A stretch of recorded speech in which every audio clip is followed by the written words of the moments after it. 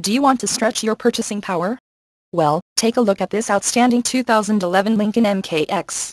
This MKX would look so much better with you behind the wheel instead of sitting on our lot. And with climate control, automatic transmission, it's bound to sell fast.